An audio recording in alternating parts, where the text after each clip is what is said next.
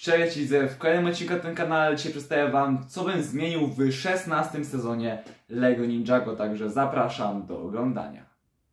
I przyznacie sami, że przykład tu ciemno, no ale takie są uroki po prostu już tej, tego typowego przejścia z jesieni na zimę, kiedy po prostu no już nam tutaj e, to wszystko wariuje i mamy około 16, a już jest tak ciemno. No niestety, no tego nie pominiemy niestety. Ale dzisiaj przedstawię Wam właśnie rzeczy, które bym zmienił w 16 sezonie LEGO Ninjago. Oczywiście chodzi mi tutaj o serial, bo uważam, że zestawy są naprawdę świetne. W sensie tutaj, no, wiadomo, że w niektórych zestawach dałoby się coś zrobić lepiej, coś gorzej, na przykład, nie wiem, czterorękiego Oni Garmadona i Lloyda. No, ale tutaj, no, e, chodzi mi głównie właśnie o serial dzisiaj. I choć na moim kanale już powstał odcinek o tym, co mi się najbardziej podobało w sumie w 16 sezonie LEGO Ninjago, to i tak to jest sobie tak pokrótce po prostu to przypomnijmy, co moim zdaniem było naprawdę bardzo fajne. Na pewno było to po prostu wstąpienie do tego sezonu, w sensie sam jakby wstęp tego sezonu, pierwsze y, te powiedzmy no 10 odcinków, kiedy po prostu Ninja jeszcze nie mieli tych nowych strojów, kiedy jeszcze był ten etap taki wiecie przejściowy z sezonów od 11 do 15 właśnie do tego nowego 16 sezonu. Wtedy, kiedy właśnie cała drużyna była y, właśnie taka rozbita. Na pewno podobało mi się też to, że ogólnie jakby wszystko dzieje się rok po wydarzeniach z 15 sezonu. Kiedy właśnie ninja jakby idą e, uczcić cześć tego, że Nia już właśnie kaput, wiecie o co chodzi, od roku, no i że wszyscy oczywiście e, są z tego powodu smutni. Na pewno moim, moim zdaniem po prostu było to bardzo fajnie przedstawione. Też dużo osób właśnie zastanawiało się nad tym, jak to będzie przedstawione, w sensie jak pokażą tą żałobę ninja po śmierci Nii, a tutaj wydaje mi się, naprawdę bardzo fajnie to rozwiązano. No i drugim aspektem na pewno będzie późniejsza pora po prostu tego sezonu, kiedy to ninja już właśnie zaczynają szukać e, sposobu na e, odratowanie Nii, w sensie po prostu jakby no biorą do tego oczywiście Asfirę, uwalniają i tak, ją i tak dalej. Też na pewno bardzo fajne jest to, że wszystko to się dzieje jakby z czegoś, w sensie nie ma niczego tak jakby wiecie, po prostu tak bezsensownie, tak jakby po prostu, nie wiem, przychodzi jakiś złoczyńca wyrwany z dupy i po prostu atakuje ninjago i tak dalej. Tutaj po prostu wszystko ma ręce i nogi i wszystko dzieje się dla, dlatego, że coś się innego wydarzyło. Nie wiem, czy zrozumieliście właśnie o co mi chodzi, ale chodzi mi więcej o to, że na przykład Harumi i Kryształowy Król wrócili dlatego właśnie, że Kryształowy Król jako jeszcze Overlord właśnie przebudził Harumi i właśnie za pomocą tego Harumi odżyła i wyszła z tego budynku jako taki powiedzmy zombiak, bo jakby no już umarła, ale potem jednak przeżyła, więc to na pewno było całkiem fajne. I to po prostu nie jest takie bezsensowne, wiecie o co chodzi, nie jest to taki absurd. No i też jest to po prostu czymś uzasadnione. Każdy, właściwie każdy czyn ma swoje konsekwencje.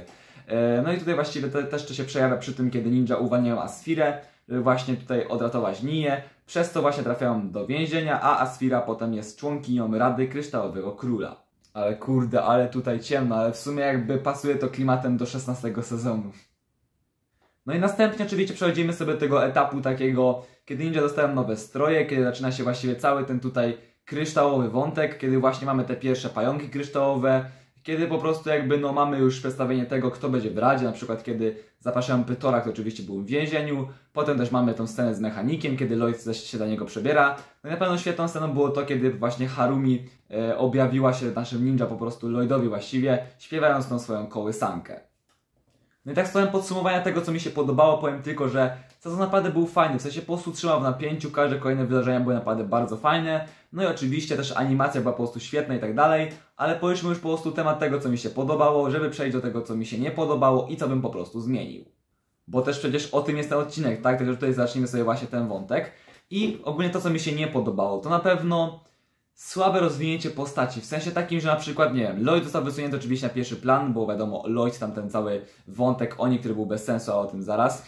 I po prostu jakby cały tutaj y, ten wątek głównie skupiony się na, rodziny, na rodzinie właśnie Lloyda i na samym Lloydzie, a tutaj po prostu jakby reszta ninja została tak odrzucona na drugi plan, wiecie o co chodzi. Na przykład nie mieliśmy w ogóle jakby jakiegoś rozwinięcia postaci Kaja, Kola i tak dalej. Były tylko jedno właśnie, jednorazowe takie fajne sceny, na przykład kiedy była scena ze Skylar i Kajem, na przykład kiedy była scena z Jayem i Nią, to na pewno było bardzo fajne. No ale też nie mieliśmy żadnej takiej sceny, gdzie na przykład by było Cole i Vania, czy coś w tym stylu. No była też ta scena z Zainem i Pixar, no ale wiecie o co chodzi, po prostu jakby no, były to takie sceny powiedzmy bardziej romansidłowe, tak, takie wiecie, romans naszych y, tutaj wojowników ninja, aczkolwiek nie było żadnych jakby tutaj y, tych rozwinięć postaci po prostu.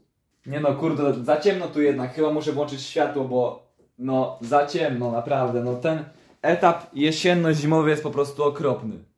Dobra, światełko jest, możemy kontynuować ten powiedzmy wątek takiego e, odcinka e, mocno, mocno po prostu monologowego, kiedy po prostu do Was nawijam i tyle. Nie wiem, czy w ogóle komuś się chce to słuchać, ale oczywiście lecimy sobie dalej.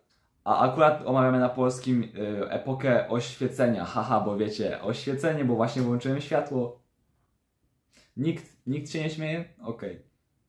No dobrze, więc lecimy sobie dalej i tak jak mówiłem przed chwilą, po prostu jakby nie było żadnych takich bardziej rozwi- rozwikłań, po prostu jakby yy, rozwinięć charakterów postaci, tak? Po prostu jakby no charakter postaci po prostu cały czas z sezonu na sezon się moim zdaniem traci.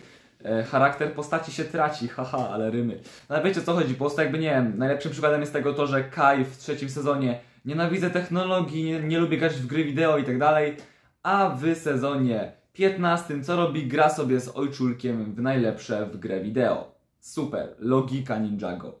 Ale dobra, jesteśmy przy sezonie 16 oczywiście. I tutaj tak jak mówiłem właśnie wcześniej, te nierozwinięcia postaci w takim sensie, że po prostu jakby no postacie tracą powoli swój charakter i wszystko skupia się oczywiście na naszym kochanym zielonym ninja. Super. No i właśnie teraz przejdźmy sobie do tego Lloyda, bo wydaje mi się tutaj ogólnie jego postać w tym sezonie była fajnie rozwinięta, kiedy właśnie przejawiały się w nim te moce oni powiedzmy kiedy po prostu były jakby widoczne te moce po prostu, no oni, tak, bo inaczej tego nie da się nazwać, po prostu moce demonów oni, które się w nim przejawiały.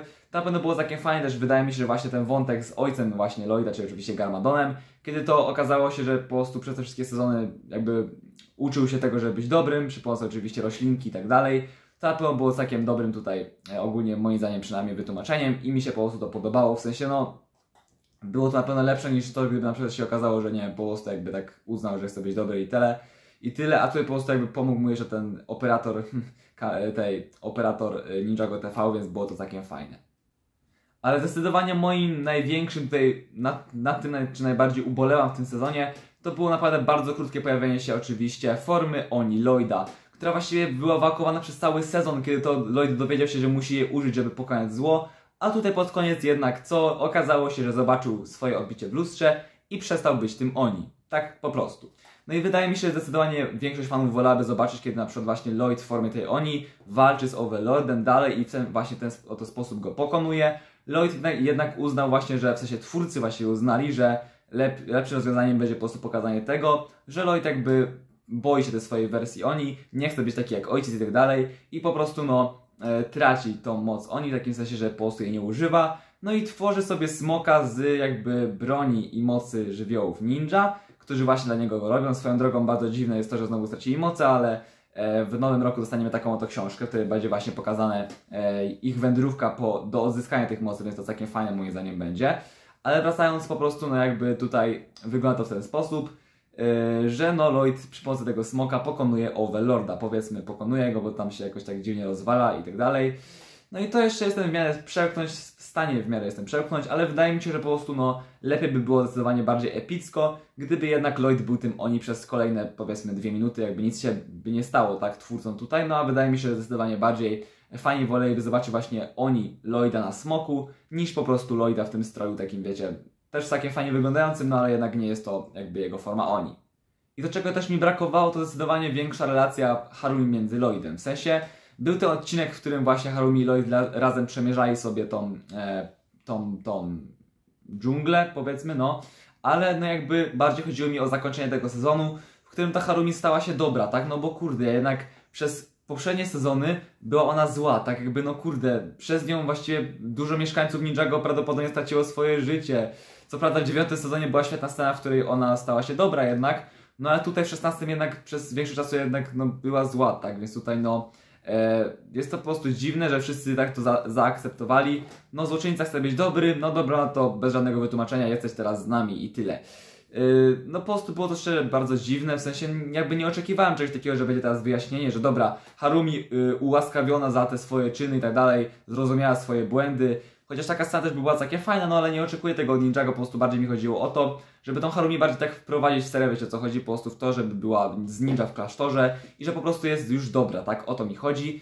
Też zdecydowanie jakby na tym, na czym chyba najwięcej ubolewam, jest fakt, że po prostu Harumi z Lloydem powinni dostać takie swoje, nie wiem, nawet 10-sekundową scenę, w której po prostu staliby razem, wiecie, na przykład w tle jakiś zachód słońca i tak dalej, na przykład ten smog by odlatywał w tle, a Lloyd tutaj po prostu z Harumi tak sobie stali, by sobie gadali, na przykład, nie wiem, że Harumi, przepraszam Cię za wszystko, Lloyd, bo właściwie przez Ciebie, yy, przeze mnie po prostu, Lloyd, cierpiałeś, tak, no bo jednak cierpiał, tak, a Lloyd po prostu powiedział, że nie ma sprawy, bądź z nami po prostu dobra i tak dalej, że tego chciałem właśnie przez poprzednie 5 sezonów, no i po prostu, nie wiem, przytuliliby się najzwyczajniej w świecie, no przecież tam nie była scena, w której się przytulali wszyscy, no ale jednak po prostu ma być taka, wiecie, oddzielna właśnie dla, Lloyd, dla Lloyda i Harumi. Mogło to trwać powiedzmy 10 minut, a znaczy minut, no.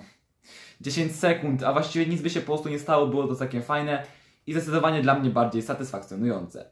A sam finał, właściwie finalny finał tego odcinka, czyli to ten moment, w którym właśnie e, wszyscy odbudowują razem klasztor, był całkiem fajny, w sensie taki, wiecie, typowy dla takich filmów family friendly, w których wszystko się dobrze kończy, wszyscy razem w rytm fajnej muzyczki sobie po prostu wszystko tutaj razem układają i tak dalej.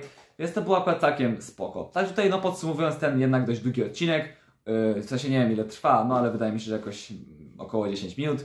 Uważam, że sezon 16 nie jest zły, w sensie jest to jeden z trzech moich ulubionych sezonów, głównie przez to, że jest to po prostu tak wiecie, nahypowane bardzo mocno. Też zestawy kupuję cały czas, jeszcze będę w planach, w sensie w planach mam jeszcze kupowanie innych zestawów z tego sezonu i że po prostu jakby bawię się tymi figurkami też, no bo wiadomo, że Lego też się bawię, więc tutaj no e, jest to jakaś jednak forma hypu, tak? Magazyny wychodzą, po prostu wszystko jest tak bardziej rozgłoszone niż, niż zwykle, w sensie wszyscy te sezony się mocno jarają. No ja przy okazji też w sensie po prostu podoba mi się sama historia, że wszyscy wracają ci starzy wrogowie i tak dalej, że mamy właśnie ten motyw wcześniej z skrzeszeniem Ni i po prostu z tym wszystkim, że jest to tak fajnie poukładane, tylko właściwie minusy były te trzy, które przedstawiłem Wam dzisiaj. Także ja Wam dziękuję za obejrzenie kolejnego odcinka na tym kanale. Mam nadzieję, że wszystko jest jasne, jeżeli chodzi właśnie o moje kwestie dotyczące tego sezonu. Wy oczywiście swoje kwestie napiszcie w komentarzu, czy Wam się ten sezon podobał w ogóle, czy macie jakieś takie swoje e, jego największe plusy tego sezonu i tak dalej, albo minusy, w sensie jakie po prostu Wy zauważyliście, jakie Wy odczuwacie. No i oczywiście, jeżeli Wam się odcinek spodobał, oczywiście wiecie co macie robić. Łapeczka w górę Was, subskrypcja, byście nie przegapili kolejnego odcinku na tym kanale. No i ja idę sobie wszamać pizzę, bo już czekam na to od godziny, żeby Wam jeszcze to nagrać i zjeść pizzę. Także no, ja to nagrywam w poniedziałek, a wrzucam prawdopodobnie we wtorek. Także widzimy się oczywiście w kolejnym odcinku na tym kanale i to było na tyle. Także, e, no, cześć!